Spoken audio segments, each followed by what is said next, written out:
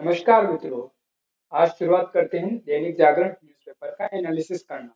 आज तारीख है 21 अगस्त 2020 और आज का दिन है रविवार। तो हम शुरुआत करते हैं हमारी पहली खबर से। सीबीआई की आरोपितों से पूछताछ ईडी से एफआईआर साझा दिल्ली की आबकारी नीति घोटाले में शामिल होने माने जा रहे तीन आरोपितों से 12 घंटे तक वित्तीय लेन देन समेत पूछे गए सवाल। शुक्रवार को छापे के दौरान मिले दस्तावेज़, लैपटॉप और अन्य उपकरणों को खंगाल रही जाँच एजेंसी। जाँच प्रक्रिया के पूरी होने के बाद अन्य आरोपितों को पूछताछ के लिए तलब करेगी सीबीआई। दिल्ली की आबकारी नीति घोटाले मामले में सीबीआई ने शनिवार को तीन आरोपितों से 12 घंटे पूछताछ की। दिल्ली के उप मुख्यमंत्री मनोज सिसोदिया समेत बारह पंद्रह आरोपितों के खिलाफ दर्ज एफआईआर ईडी के साथ साझा की ईडी एफआईआर को खंगोलेगी अगर मनी लॉन्ड्रिंग का मामला मिलता है तो वह जाँच कर सकेगी तो अब हम जान लेते हैं कि जो दिल्ली की जो आबकारी नीति है वो क्या है। दिल्ली सरकार की नई आबकारी नई शराब पॉलिसी पर क्या है विवाद? क्यों जाँच के दायरे में आ गए मनोज सिसोदिया? तो नई शराब नीति के तहत दिल्ली में शराब पीने की कानूनी उम्र सीमा को घटा दिया गया था। इस नीति के अनुसार उम्र 25 साल से घटाकर 21 साल कर दी गई। Delhi liquor policy. दिल्ली में सीबीआई ने डिप्टी सीएम मनीष सिसोदिया के घर समेत 21 जगह पर छापेमारी की। माना जा रहा है कि यह छापेमारी शराब पॉलिसी को लेकर है। उपराज्यपाल विनय कुमार सक्सेना पिछले दिनों दिल्ली सरकार की नई आबकारी नीति, यानी एक्साइज पॉलिसी पर सवाल खड़े करते हुए इसकी जाँच की सिफारिश सीबीआई को सौंप दी थी। दिल्ली में पिछले साल नई आबकारी नीति लागू की गई थी, जिसके मुताबिक दिल्ली को 32 जोन में बांटा गया था। इनमें आठ लाइसेंस आवंटित किए गए थे। बत्तीस जोन में, हर एक जोन में औसतन 26 से 27 शराब की दुकानें खुल रही थी। दिल्ली में अब तक साठ फ़ीसदी दुकानें सरकारी और चालीस फ़ीसदी निजी हाथों में थी, लेकिन इस नीति के बाद सौ फ़ीसदी दुकानें के हाथों में चली गई थी। नई आबकारी नीति के मुताबिक शराब की बिक्री से जुड़े नियम अब इस प्रकार से दिल्ली में शराब पीने की कानूनी उम्र सीमा को घटा दिया गया था। इस नीति के अनुसार उम्र 25 साल से घटाकर 21 साल कर दी गई। अंतर्राष्ट्रीय एयरपोर्ट पर ऑपरेटेड, इंडिपेंडेंट शॉप और होटल पर 24 घंटे शराब की बिक्री हो रही थी। पहले की तुलना में शराब को दुकानों की दूरी कम कर दी गई थी। इस नीति के तहत शराब की दुकान कम से कम 500 वर्ग फीट में ही खुल रही थी। पहले अधिकांश सरकारी दुकानें 150 वर्ग फीट में थी, जिनका काउंटर सड़क की तरफ़ होता था। दुकान का कोई काउंटर सड़क की तरफ़ नहीं था। लाइसेंस धारक मोबाइल ऐप या वेबसाइट के माध्यम से ऑर्डर लेकर शराब की होम डिलीवरी कर रहे थे। छात्रावास, कार्यालय या संस्थान में शराब की डिलीवरी करने की इजाज़त नहीं थी। दुकानों में व्यवस्था की गई थी। एंट्री और एग्जिट गेट अलग थे। दुकानों के बाहर खाने पीने की दुकानें नहीं थी। सुरक्षा की पूरी व्यवस्था की गई थी। सभी दुकानें मार्केट रेट के हिसाब से शराब की कीमत तय कर रही तो इस तरह से यह नई शराब नीति थी। अब चलते हैं हमारी अगली खबर। यह है अंतर्राष्ट्रीय संबंधों से। भारत के साथ एक और युद्ध नहीं चाहता पाक। तो जो पाकिस्तान के जो प्रधानमंत्री है, शहबाज शरीफ ने कहा कि उनका देश भारत के साथ एक और युद्ध नहीं चाहता। वह दोनों के बीच स्थायी शांति चाहते हैं। वो कश्मीर का मामला कहीं ना कहीं वार्ता से सुलझाना चाहते हैं। उन्होंने कहा, शरीफ ने कहा कि क्षेत्र में शांति को लेकर जो संयुक्त राष्ट्र सुरक्षा परिषद की जो संकल्प के अनुसार कश्मीर मसले का समाधान होना चाहिए। हम भारत के साथ स्थायी शांति वाले संबंध चाहते हैं। देश को व्यापार और अर्थव्यवस्था का विकास करते हुए अपने नागरिकों के कल्याण के लिए कार्य करना चाहिए, ऐसा प्रधानमंत्री का कहना है किसके पाकिस्तान हम परमाणु ताकत का उपयोग बचाव के लिए करना चाहते हैं। पाकिस्तान की अर्थव्यवस्था के बारे में हाल ही में खबरें हैं कि कहीं न कहीं उसकी अर्थव्यवस्था तंगहाली, ढांचागत समस्या और राजनीतिक अस्थिरता का परिणाम है। जम्मू कश्मीर का मसला और आतंकवाद दोनों के बीच तनाव की वजह रही है। आतंकवादी घटनाओं को रोके बिना दोनों देशों के बीच बातचीत संभव नहीं ऐसा हमारे नरेंद्र मोदी जी ने कहा था। जम्मू कश्मीर से अनुच्छेद तीन सौ सत्तर हटने के बाद दोनों देशों के बीच संबंधों में कहीं कहीं तनाव में वृद्धि हुई और कूटनीतिक बातचीत रुक गई थी।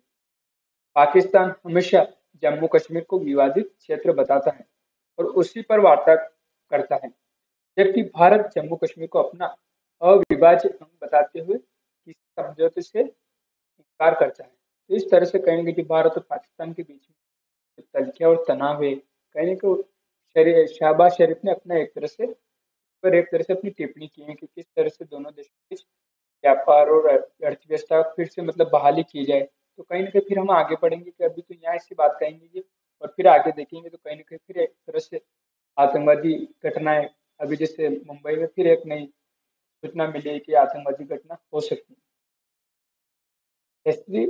एक्ट राजस्थान में एस सी एक्ट में फंसाने पर सीएनए दी जान। जयपुर में 25 साल के युवा चार्टेड अकाउंट ने एस सी एक्ट के तहत फंसाए जाने से परेशान होकर जान देने जान दे दी। घर की चौथी मंजिल से छलांग लगाकर आत्महत्या करने वाले रक्षित खंडेवाल उर्फ़ खाना ने सुसाइड नोट में परेशानी का ज़िक्र किया। अब हम जान लेते हैं कि जो एस सी एक्ट है, वो क्या था। हम परिचय जान लेते हैं इसका एस सी एक्ट का। जैसे जैसे भारत तेज़ी से विकास और समृद्धि की तौर से गुजर रहा है, यह समाज के सभी वर्गों को अपनी समुदाय के जीवन स्तर की कल्पना करने, बनाने और बढ़ाने का मौका दे रहा है। अनुसूचित जाति और जनजाति अपने शैक्षणिक, आर्थिक, सामाजिक सशक्तिकरण के कारण भारतीय समाज के सबसे प्रगतिशील समुदायों में से एक के रूप में भरे हैं। अनुसूचित जाति और अनुसूचित जनजाति, अत्याचार निवारण अधिनियम 1989 अधिनियम ने अनुसूचित जातियों और जनजातियों के खिलाफ व्यापक अपराधों को रोका है। ये विशेष अदालतें अधिनियम के तहत स्थापित पीड़ितों के अधिकारों और विशेष अधिकारों की रक्षा करने और राहत प्राप्त करने में उनकी सहायता करने के लिए काम करती हैं। भारतीय समाज में दो हाशिए के समूह हैं, दलित, जिन्हें कानूनी रूप से अनुसूचित जाति के रूप में वर्गीकृत किया गया है, और आदिवासी, जिन्हें कानूनी रूप से अनुसूचित जनजाति के रूप में वर्गीकृत किया गया है। वे आदिकाल से ही अनेक अत्याचारों के शिकार रहे हैं। इसकी जनसंख्या का यह वर्ग अधिनियम द्वारा भेदभाव और अत्याचारों से सुरक्षित है। इसके बावजूद इन कानूनों को लागू करने के प्रभाव और इसके उद्देश्य और संदेह बना हुआ है। क्योंकि इन, इस कानूनों के प्रावधान के संभावित दुरुपयोग के बारे में व्यापक चिंताएँ की गई। हैं भारतीय संविधान के अनुच्छेद सत्रह के अनुसार अस्पृश्यता और इसी तरह की सभी प्रथाओं की मनाही है। 1955 में अस्पृश्यता अपराध अधिनियम पारित किया गया था। इस तरह से ये एस सी एक्ट है। अब चलते हैं हमारी अगली खबर पर। जैसे हम अभी बात कर रहे थे कि मुंबई में छब्बीस ग्यारह दोहराने की मिली धमकी। अभी यहाँ जो पाकिस्तान के प्रधानमंत्री यहाँ शांति वार्ता और इसकी व्यापार की बहाली की बात करें तो अभी यहीं पर मुंबई में छब्बीस ग्यारह की एक और हमला हो सकता है, ऐसा संदेश मिला था हमारे सुरक्षा एजेंसियों को। तो छब्बीस ग्यारह क्या था कि 26 नवंबर 2008 को मुंबई पर 10 पाकिस्तानी आतंकियों ने हमला कर चार दिनों के लिए कोहराम मचाया था। Hotel Taj, hotel Trident, Chhatrapati Shivaji Maharaj Terminal, Leopold बाग एवं नरीमन हाउस पर हमले में कम से कम एक लोग मारे गए थे। मुंबई की एटीएस प्रमुख हेमंत करकरे और एनकाउंटर स्पेशलिस्ट विजय सालकर सहित कई पुलिसकर्मी बलिदान हो गए पाकिस्तान आतंकी अजमल कसाब को ज़िंदा पकड़ लिया गया था। आतंकवादी निरोधक दस्ते साथ पुलिस ने अपनी जानकारी साझा की है, ताकि कहीं ना कहीं जो ये मैसेज आया है, इसका पता लगाया जा सके कि यह कहाँ से आया है। जो पाकिस्तानी नंबर से आया था मैसेज चलते हैं हमारी अगली खबर।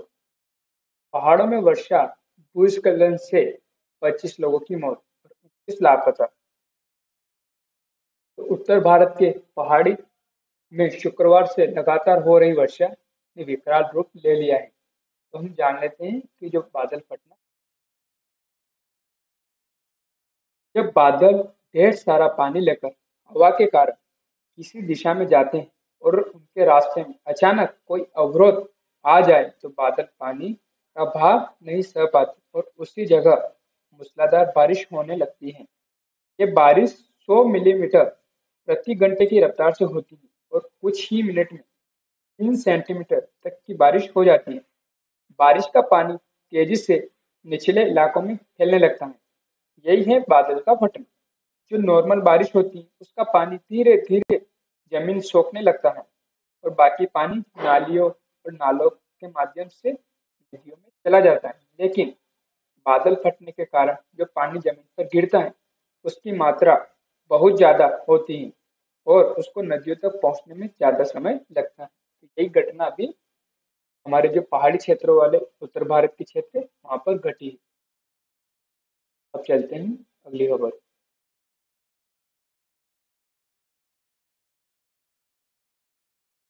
जज पचास मामले निपटाते हैं तो सौ और मुकदमे आ जाते हैं। तो ये हमारे किस जीएस टू राज्य व्यवस्था यानी एक तरह से न्यायिक सुधार से संबंधित कहा, सेमिनार में कहा किसने? किरण रिजिजू ने। कहा, मुकदमे कम करने के लिए तकनीक की मदद ले रही है सरकार। देश में लंबित मामलों की संख्या लगभग पाँच करोड़ हो गई है। देश में लंबित मामलों की संख्या पाँच करोड़ के करीब पहुँच गई। लंबित मामलों की संख्या कम से कम करने के लिए सरकार तकनीक की मदद ले रही है। संसद के मानसून सत्र में कानून मंत्री किरण रिजिजू ने बताया था कि देश भर के न्यायालय में 4.83 करोड़ मुकदमे लंबित हैं। इनमें चार करोड़ से अधिक मुकदमे निचली अदालतों में लंबित हैं, जबकि सुप्रीम कोर्ट पर बहत्तर हज़ार लंबित मामले का बोझ है। हाल ही में मध्यस्थता पर प्रस्तावित कानून से अदालतों में मुकदमे की संख्या घटेगी और इसके अलावा कानूनों में विवाद सुलझाने के वैकल्पिक तंत्र पर भी ध्यान दिया जाएगा। मध्यस्थता से कम होगा कोर्ट का बोझ, इसमें जस्टिस चंद्रचूड़ जी ने कहा है। देश की अदालतों पर बहुत पर बहुत ज़्यादा बोझ है। लंबित मामलों की अत्यधिक संख्या को देखते हुए मध्यस्थता जैसे विवाद निवारण तंत्र का बहुत महत्व बढ़ गया है। मध्यस्थता न्याय दिलाने का महत्वपूर्ण माध्यम हो सकता है। न्याय की औपचारिक प्रक्रिया से गुजरे बिना इसे विवाद निपटाए जा सकते हैं। पूरी दुनिया और भारत में इसका चलन बढ़ा है। हाल ही में संसद में मध्यस्थता विधेयक पेश किया गया है। विवाद सुलझाने के लिए मध्यस्थता एक महत्वपूर्ण प्रक्रिया बन गई। मध्यस्थता कानून के तहत क्या होगा कि जो दोनों पक्ष है, उनको कोर्ट में या जो औपचारिक प्रक्रिया किए बिना ही उन दोनों के बीच एक तरह से सुलह कराने की कोशिश की जाएगी। महिलाओं और पिछड़े वर्ग को न्यायपालिका में उचित प्रतिनिधित्व मिले, ऐसा एन वी रमना जी का कहना है वर्तमान में जस्टिस ऑफ़ इंडिया है। उन्होंने जजों के खाली पदों को भरने और देश भर की अदालतों में सुविधाओं की कमी के मुद्दे पर भी कहीं न कहीं अपनी बात कही और इन्हें बढ़ाने की बात कही। अदालत में बुनियादी सुविधाओं को मुहैया कराने के लिए राज्यों को वित्तीय मदद देनी होगी, ताकि कहीं न कहीं इस तरह के जो लंबे मुकदमे हैं, उन्हें सुलझाने में भी कहीं ना कहीं सहायता मिले और जो कोर्ट्स हैं, उनकी कहीं ना कहीं आधारभूत संरचना को भी बढ़ाया जा सके।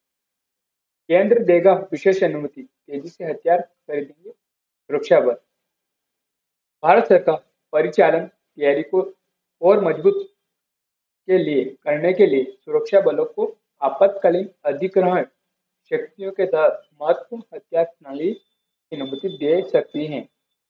सुरक्षा बल, फास्ट ट्रैक चैनल के ज़रिए कोई हथियार प्रणाली या उपकरण खरीद सकेंगे। दो हज़ार सोलह में उड़ी सर्जिकल स्ट्राइक के समय भी इस तरह से सेना ने हथियार खरीदे थे। आपातकालीन अधिग्रहण की शक्ति दी गई ताकि सुरक्षा बलों को अपने जो ज़रूरी हथियार है वो जल्दी से जल्दी खरीद सके। सुरक्षा बलों को हथियार खरीदने के लिए आपातकालीन अधिकार देने पर विचार विमर्श किया जा सकता है। इसके तहत सुरक्षा बल अपनी परिचालन क्षमता बढ़ाने के लिए नया उपकरण या वर्तमान में प्रचलित हथियार फास्ट ट्रैक चैनल के ज़रिए खरीद सकते हैं। मौजूदा प्रावधानों के तहत सुरक्षा बलों के पास 300 करोड़ रुपए तक का साजो सामान खरीदने का अधिकार है। इस तरह की खरीद में हथियारों की आपूर्ति तीन महीनों से लेकर एक साल तक की अवधि में की जाती है। ऐसे मामले में खरीद के लिए सुरक्षा बलों को जो बजट आवंटन से खर्च करना पड़ता है, इसके लिए उन्हें रक्षा मंत्रालय की स्वीकृति लेने की ज़रूरत नहीं पड़ती। इस आपातकालीन शक्तियों का प्रयोग सुरक्षा बल हथियारों से लेस हो सकेंगे। अब चलते हैं हमारे अगले मध्य क्षेत्रीय परिषद की बैठक कल आज पहुँचे तो आज भोपाल पहुँचे जाएँगे शाह। बैठक में मध्य प्रदेश छत्तीसगढ़ की नक्सली समस्या पर रिपोर्ट होगी पेश। एम बेतवा लिंक परियोजना से बुंदेलखंड को मिलने वाला पानी पर भी होगी चर्चा। मध्य प्रदेश की राजधानी भोपाल में मध्य क्षेत्रीय परिषद की बैठक होगी, जिसमें केंद्रीय गृह मंत्री अमित शाह के अलावा मध्य प्रदेश, छत्तीसगढ़, उत्तर प्रदेश, उत्तराखंड भी शामिल होंगे और इनके मुख्यमंत्री शामिल होंगे। बैठक में मध्य प्रदेश, छत्तीसगढ़ की नक्सली समस्या पर दोनों प्रभावित राज्य एक रिपोर्ट पेश की जाएगी। दोनों राज्य केंद्र से मदद का ज़िक्र करेंगे। केंद्र के साथ मिलकर इसे कैसे नियंत्रित किया जाए, इसका साझा प्लान भी तैयार करेंगे। वहीं बढ़ते साइबर अपराध, ड्रग्स तस्करी और जैसे मुद्दों पर भी बात हुई। उत्तर प्रदेश के साथ संयुक्त परियोजना, यानी केन बेतवा लिंक परियोजना से भी यानी कि जो बुंदेलखंड को मिलने वाली पानी के मुद्दे पर भी चर्चा हुई। तो इस बैठक का जो गठन है, वो राज्य पुनर्गठन आयोग की सिफारिश पर उन्नीस सौ छप्पन में किया गया था। इसके तहत सभी राज्यों को छह परिषद में बांटा गया है। राज्यों के बीच आपसी समन्वय, आर्थिक और सामाजिक विकास जैसे मुद्दों पर चर्चा कर केंद्र सरकार से समाधान निकालना परिषद की ज़िम्मेदारी होती है। एक बार हम ये क्षेत्रीय जोनल परिषद है, उनको देख ले। तो ये एक तरह से छह क्षेत्रीय परिषद है। इधर की साइड हो गई कौन सी? Northern zone. और ये हो गई वेस्टर्न जोन और जो अभी बैठक हो रही है हम बात कर रहे थे, वो सेंट्रल जोन ये वाली हो गई। और ये नॉर्थ ईस्टर्न जोन और ये ईस्टर्न जोन और ये साउथर्न जोन कुल मिलाकर ये छह जोन हो गई है। और जो अभी सेंट्रल जोन की बात करे थे, यानी जो मध्य क्षेत्रीय परिषद तो उसमें मध्य प्रदेश, छत्तीसगढ़, उत्तर प्रदेश और उत्तराखंड के जो मुख्यमंत्री वो शामिल है। इस तरह से ओवरऑल इंडिया को क्षेत्रीय परिषद छह क्षेत्रीय परिषद में बांटा गया है, ताकि यह समन्वय, आर्थिक, सामाजिक विकास के मुद्दों पर चर्चा कर सके और उसके लिए केंद्र सरकार से समाधान मांग कर सके। और इनका जो गठन है राज्य पुनर्गठन अधिनियम उन्नीस की सिफारिश के आधार पर किया गया था। चलते हैं हमारी अगली खबर।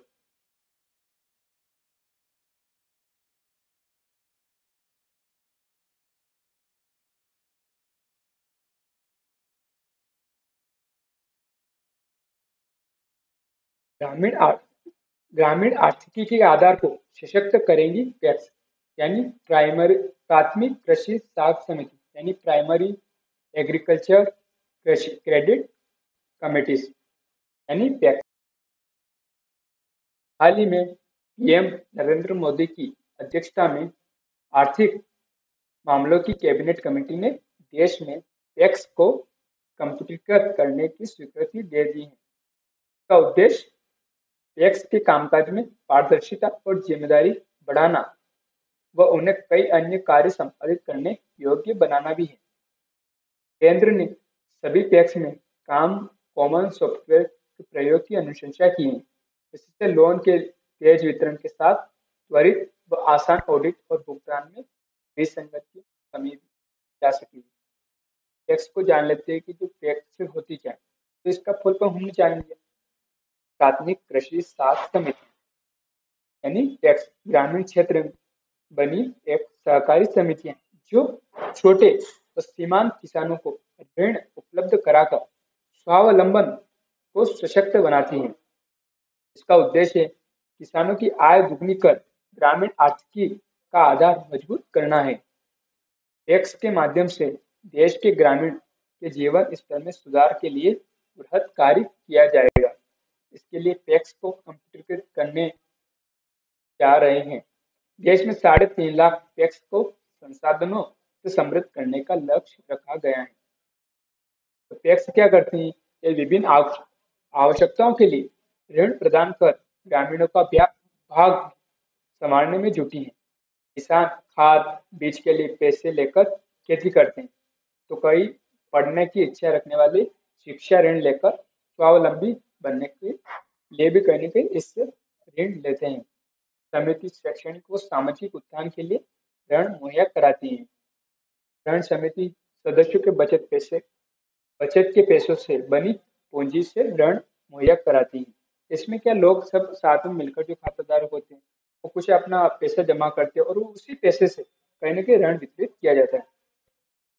गाँव में उधार वस्तु या रुपए देने वाले दुकानदारों व साहूकारों की प्राचीन परंपरा थी। तो कहीं न कहीं एक तरह से साहूकार बड़ी ब्याज दर लेते थे किसे किसानों से एक तरह से उनका शोषण भी होता था। तो कहीं ना कहीं उससे बचाने के लिए एक तरह से जो टैक्स की जो संकल्पना देखी गई, ताकि किसानों को सस्ती दरों पर जो कार्यशील पूंजी है उसके लिए या दीर्घकालिक जरूरतों के लिए पूंजी उपलब्ध कराई जा सके। तो इस तरह से इसका काम था, ताकि कहीं ना कहीं जो ग्रामीण क्षेत्र है, उसमें कृषि है, जो ग्रामीण क्षेत्र की जो आधारभूत संरचना है, पशुपालन है, या यंत्र के लिए है, चाहे मशीन के लिए है, या चाहे ज़मीन खरीदने के लिए है, चाहे उर्वरक है, चाहे कोई से भी फर्टिलाइज़र है तो उन सबके लिए कहीं ना कहीं जो टैक्स है, वो एक तरह से किसानों को सस्ती दर पे ऋण मुहैया कराती है।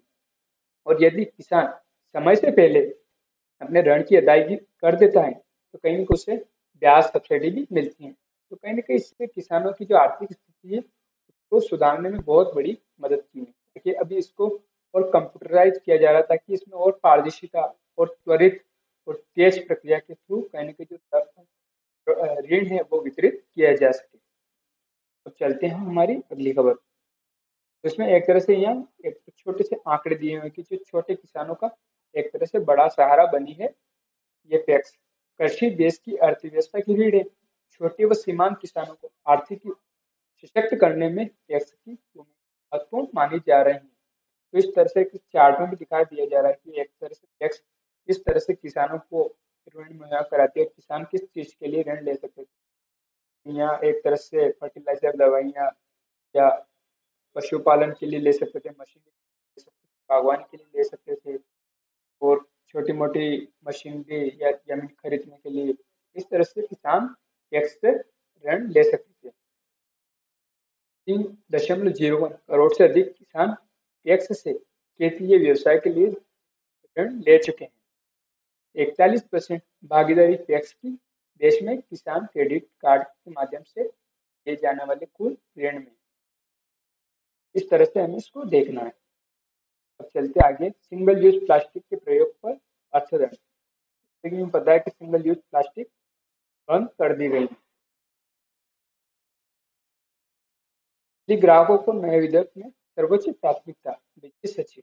जैसा कि हमें बताया कि हाल ही में बिजली संशोधन विधेयक दो हज़ार बाईस लाया गया, जिसके तहत कहीं ना कहीं जो उपभोक्ता होते हैं, उन्हें कहीं ना कहीं जो बिजली कंपनियों कंपनियाँ, उनमें से विकल्प चुनने का मौका मिलेगा का उद्देश्य कहीं ना कहीं जो बिजली वितरण कंपनी पर जो बोझ बढ़ता जा रहा है कर्ज का, उसे कहीं ना कहीं कम करना उनकी जो इफिशियंसी है उसे बढ़ाना है एक तरह से, कहीं ना कहीं बिजली वितरण क्षेत्र की जो कंपनियाँ उनमें ज़्यादा प्रतिस्पर्धा को बढ़ाना है, जो बिजली सब्सिडी है, कहीं ना कहीं उसमें एक तरह से तर्क संगतता लानी है, और कहीं ना कहीं जो सब्सिडी उसको डायरेक्ट बेनिफिट ट्रांसफ़र के ज़रिए भी कहीं ना कहीं उसमें सुधार करना है। तो और इसके थ्रू कहीं ना कहीं जो क्रॉस सब्सिडी है, उसकी व्यवस्था में भी कहीं ना कहीं तरह से उसे रोकना है। नई कंपनियाँ जहाँ से अधिक वसूल करती हैं बिजली का बिल तो उन क्षेत्रों में उन्हें खर्च करने के लिए बाध्य करना है जहाँ पहुँच व खपत बहुत कम है। कहीं ना कहीं जो मौजूदा इंफ्रास्ट्रक्चर है, उसके इस्तेमाल में कहीं ना कहीं जो डिस्ट्रीब्यूशन कंपनी है, वो कहीं ना कहीं वो पुराना जो इंफ्रास्ट्रक्चर उसका इस्तेमाल कर सके और उसके लिए उन्हें शुल्क भी देना पड़ेगा। तो इस तरह से ये विधेयक आया है।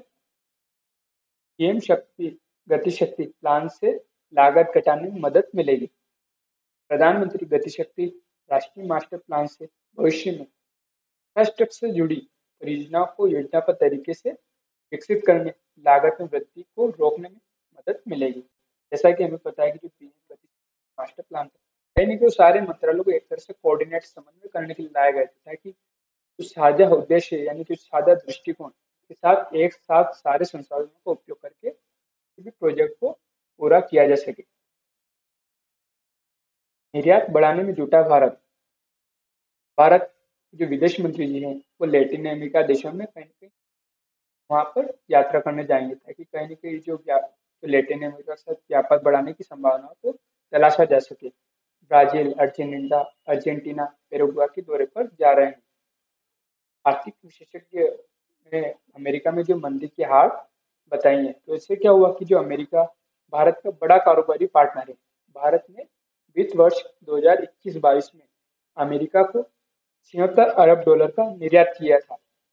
तो अमेरिका से तिरालीस अरब डॉलर का आयात किया था, लेकिन अमेरिका में मंदी की शुरुआत होने का भारतीय निर्यात पर असर दिख रहा है, क्योंकि वो हमारे सामान खरीदेंगे। तो कहीं ना कहीं जो इसका गैप है कहीं ना कहीं उसका हमें फ़ायदा नहीं मिलेगा। तो कहीं ना कहीं जो सामान हमने बनाए हैं, अब उनका कहीं ना कहीं विकल्प ढूंढना पड़ेगा। तो कहीं ना कहीं वो सामान ही हम लेकिन अमेरिका जैसे देशों के साथ व्यापार बढ़ाकर कहीं ना कहीं जो अमेरिका की जो मंदी आ रही, उसका असर भारतीय अर्थव्यवस्था पर न पड़े।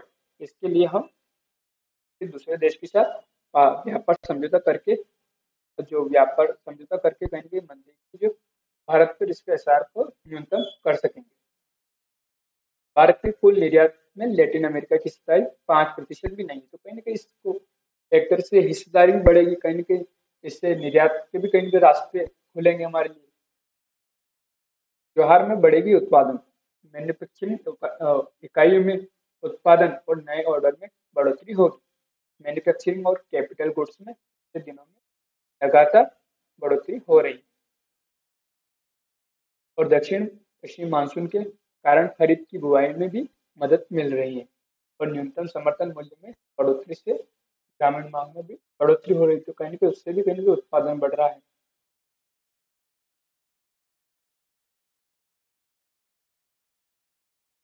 सोनोवाल ने चाबहार बंदरगाह के विकास कार्यों का किया जायजा। तो ईरान के चाबहार में स्थित शाहिद बहस्ती बंदरगाह का दौरा कर वहाँ जारी विकास कार्यों की प्रकृति का समीक्षा की। तो भारत चाबहार बंदरगाह के विकास में पूरी सक्रियता से जुड़ा है। भारत मध्य एशियाई देशों तक अपने उत्पादों की पहुँच को सुगम बनाना चाहता है। भारत और ईरान के बीच समुद्री बंदरगाह विकास व सहयोग सहमति बनी थी। तो हम इसी को मैप में देखेंगे थोड़ी देर इनके साथ सीमा संबंधी टकराव को हल करने के लिए भारत के पास है स्थापित तंत्र कलिता। अरुणाचल प्रदेश में चीन के साथ अंतर्राष्ट्रीय सीमा से टकराव के लिए भारत के पास स्थापित तंत्र मैकमोहन रेखा है। रेड क्लिप रेखा जो भारत बांग्लादेश सीमा का सीमांकन करती है इस तरह से हमारी जो मैकमोहन रेखा का सीमांकन भी किया गया है। भारत बांग्लादेश सीमा रेड क्लिप स्तंभों पर सीमांकित है। इन्होंने सिलीगुड़ी का भी कहीं भी ज़िक्र किया 2017 में भारत, चीन, डोकलाम संकट के मद्देनजर उत्तरी बंगाल में सिलीगुड़ी कॉरिडोर या चिकन नेक के खतरे को भी इन्होंने मतलब वहाँ अपने जवाब दिया। अच्छा दरअसल सिलीगुड़ी कॉरिडोर नेपाल, भूटान और बांग्लादेश की सीमा से लगती भूमि का एक संकीर्ण खंड है।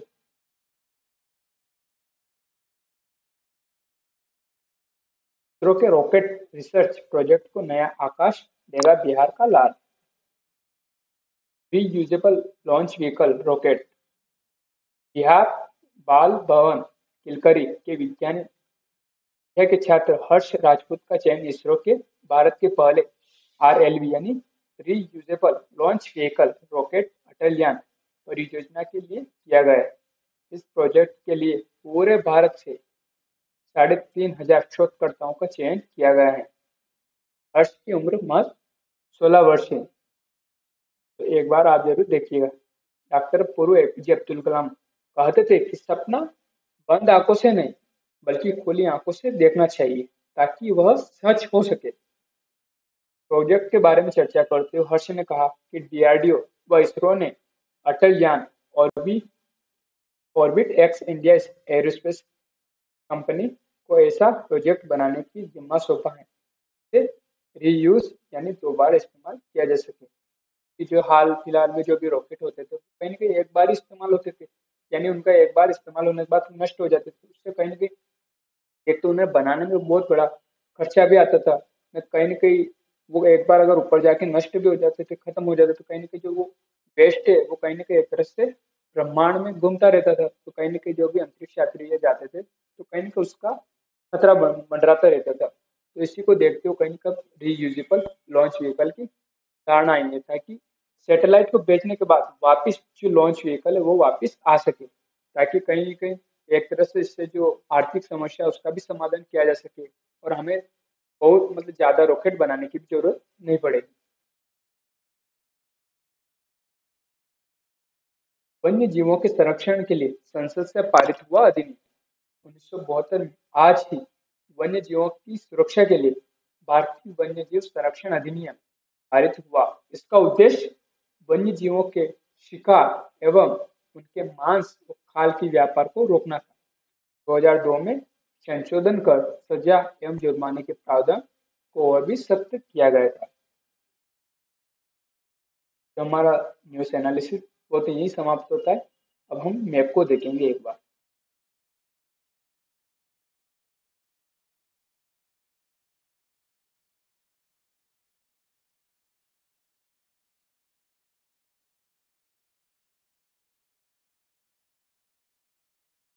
जनरल काउंसिल एक बार देख ली। अब चलते हैं। चाबार बंदरगाह की हम बात करें एक बार उस पर चलते हैं। ये है चाबार बंदरगाह, यानी जो ईरान का पोर्ट है जहाँ भारत इसको विकसित कर रहा कहीं ना कहीं भारत अपने गुजरात गुजरात के कांडला पोर्ट से कहीं ना कहीं पोरबंदर, द्वारका, और यहाँ से कहीं ना कहीं जो हमारे पोर्ट्स है जहाज़ है। वो कहीं ना कहीं समुद्र यानी अरब सागर के थ्रू होते हुए चाबरखा बंदरगाह तक पहुँचेंगे चाबरगाह बंदरगाह से चाबहार बंदरगाह से हम कहीं ना कहीं अफ़गानिस्तान, इससे होते हुए कहीं ना कहीं तुर्कमेनिस्तान, उज्बेकिस्तान, कजाकिस्तान, किर्गिस्तान कहीं ना कहीं कजाकिस्तान और रूस तक अपनी पहुँच बना लेंगे। कहीं ना कहीं अब हम, ये रास्ता ही क्यों ढूंढ रहे क्या हमारा सीधा रास्ता नहीं था अफ़गानिस्तान से होते हुए? था हमारे पास यानी जो पी एफ़ के अभी इस पर पाकिस्तान ने कब्जा कर रखा, कहीं ना कहीं ये हमारा हिस्सा था और कहीं ना कहीं अभी पी ओ के कहीं पाकिस्तान के हाथों में तो कहीं ना कहीं जो हमारी अफ़गानिस्तान से एक सौ छः किलोमीटर लगती थी, कहीं ना कहीं हमारी जो वहाँ से कनेक्टिविटी कट गई अब हमें मध्य एशिया तक अपनी कनेक्टिविटी बढ़ाने के लिए कहीं ना कहीं ये इस तरह का विकल्प ढूंढना पड़ा है। चाबरहा, चाबहार बंदरगाह और कहीं ना कहीं ये चीन का, माफ़ कीजिए, जो पाकिस्तान का ग्वादर बंदरगाह है इसी से मतलब बहत्तर किलोमीटर की दूरी पर है। तो कहीं ना कहीं इस ग्वादर बंदरगाह का जो निर्माण है, वो चीन कर रहा है, वो किसके थ्रू कर रहा है? तो कहीं ना कहीं वो सी यानी चाइना पाकिस्तान इकोनॉमिक कॉरिडोर के थ्रू कहीं ना कहीं जो चीन है, वो कहीं ना कहीं मेरीटाइम जो सिल्क रूट है तो मेरीटाइम रूट है, उसका कहीं ना कहीं एक तरह से विकल्प भी ढूंढ रहा था। कहीं ना कहीं भारत भी अपना मध्य तक कहीं ना कहीं पहुँच बढ़ाने के लिए तो ग्वादर बंदरगाह का कहीं ना कहीं एक तरह से विकल्प भी प्रस्तुत करेगा ताकि जो मध्य एशिया के देश हैं वो चाहे अफ़गानिस्तान से होते हुए या तुर्कमेनिस्तान से होते हुए कहीं ना कहीं अरब की सागर और फिर कहीं ना कहीं समुद्र के रास्ते किसी भी देश से व्यापार कर सकते हैं अब चलते हैं हम ट्रक मैप पे तो जिसकी हम कैन बेतवा लिंक परियोजना की बात कर थे तो वो ये है अब जो ये यमुना नदी जैसे हमें पता है कि उत्तर तो यमुना रही जो केन और बेतवा है, वो कहीं ना कहीं यमुना नदी की ही सहायक नदियाँ हैं। तो ये मध्य प्रदेश का मैप है और इसके ऊपर ये उत्तर प्रदेश का मैप और ये जो केन नदी जा रही है और ये इधर से बेतवा नदी जा रही है। तो इन दोनों को जो मिलाने वाली है, केन, बेतवा लिंक प्रोजेक्ट तो ये कहाँ से, यानी यहाँ जो पन्ना बागेश्वर रिजर आ गया, ये दोधाम डैम आ गया, ये सतना आ गया, ये छतरपुर आ गया, ये महोबा आ गया, ये टिकमगढ़ आ गया, ललितपुर आ गया जहाँ से आ गया दतिया आ गया तो इनके बीच में जो अभी प्रोजेक्ट की ज़रूरत ही क्यों पड़ी तो क्योंकि जो कहीं ना कहीं जो बुंदेलखंड का क्षेत्र था, वहाँ सबसे बड़ी एक सूखे की समस्या थी। और आसपास के क्षेत्रों में क्या एक तरह से कहीं का जो जल संकट गहरा गया था तो क्या हो गया था कि वहाँ खेती नहीं हो पा रही थी तो वहाँ के जो युवा थे, जो रोज़गार की तलाश में दूसरी जगह जाने लगे थे तो वहाँ से कहीं कहीं पलायन होने लगा था। सबसे बड़ी बात है कि जीवित रहने के लिए हमें पानी की ज़रूरत है। अगर पानी ही नहीं मिलेगा तो कहीं ना कहीं वहाँ के वन्य जीव जीव जंतु किसान सभी धीरे धीरे उस क्षेत्र से पलायन करने लग जाएँगे।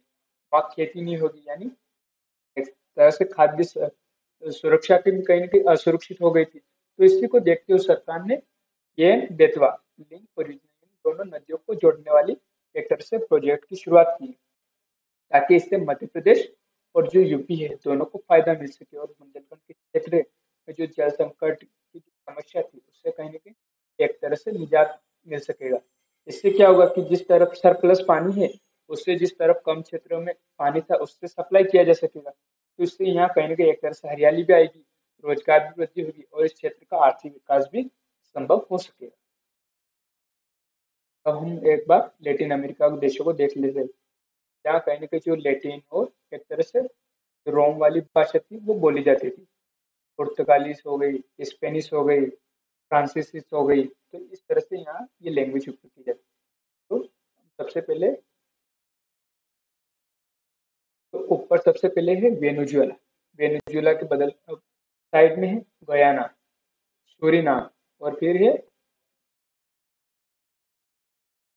नीचे ब्राज़ील आ गया।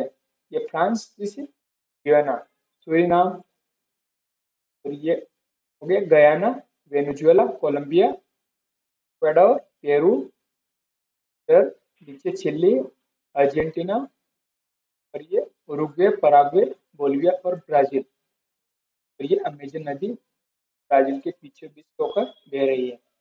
और इधर एक तरह से पहाड़ी क्षेत्र आ गए एक तरह से। जहाँ से एंडीज एंडीज जो पर्वतमाला है, वो होकर निकल रही इक्वाडोर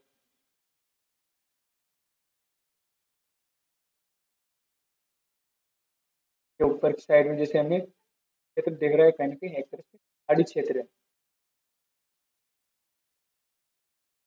और जो ये मध्य अफ्रीकन कंट्रीज़ ये पनामा कहीं में पता है कि यहाँ से कहीं एक तरह से पनामा कैनल होकर गुजर रही हैं। फिर आगे चलते हैं हम। पनामा सिटी बेलिस आगे साइड ग्वाटेमाला, फिर मेक्सिको आ गया।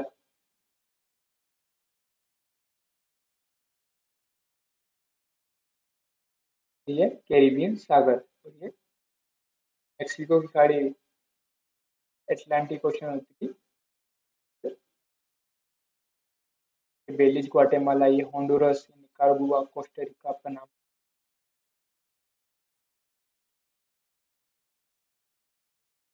ये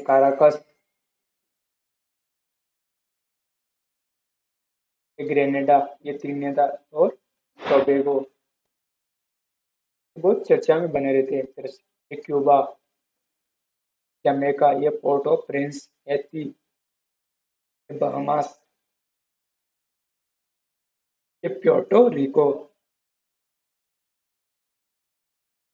भारत से अगर हमें यहाँ आना है तो कहीं, इस तरह से ये समुद्री रास्ता पकड़ना पड़ेगा, हिंद महासागर से होते हुए दक्षिणी अटलांटिक महासागर से होते हैं कहीं लैटिन अमेरिका अर्जेंटीना की राजधानी ब्यूनस आयर्स सेंटियागो साइड एक रेगिस्तान भी आ गए हैं। ये एक तरह से पहाड़ी क्षेत्र दिख रहा है, बिल्कुल।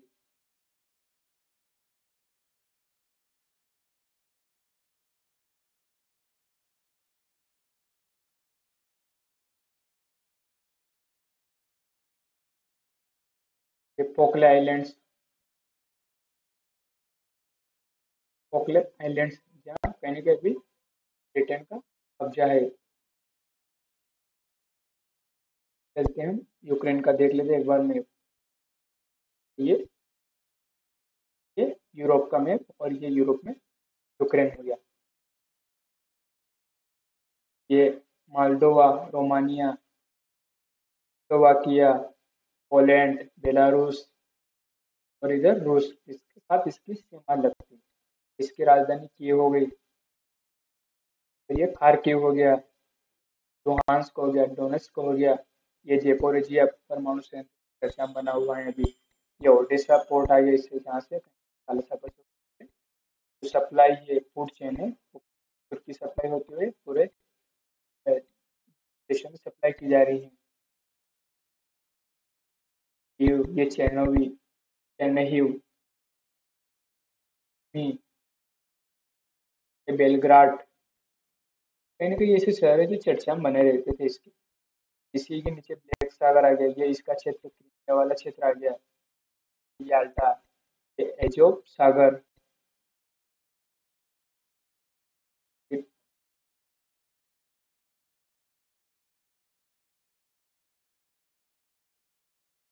मैंने कहा, अभी ये चीज़ें बहुत ज़्यादा चर्चा में है, क्योंकि अभी कहीं कहीं रूस चल रहा है इस्तानबुल मारमारा सागर।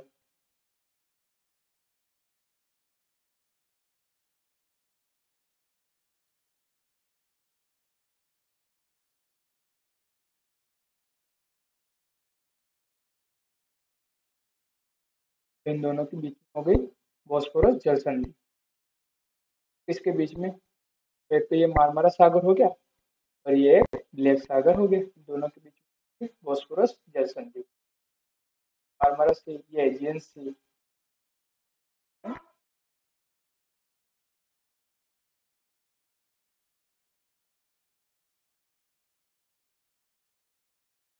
डार्नेलिस की जल संधि। दोनों के बीच में, के बीच में तो मारमारा सी और एजेंसी के बीच में हो गई डार्नेलिस की संधि। और ये भूमध्य सागर आ गया। इस तरह से हमको इसको मैप को देखना है। हमारा आज का जो एनालिसिस है, वही समाप्त करते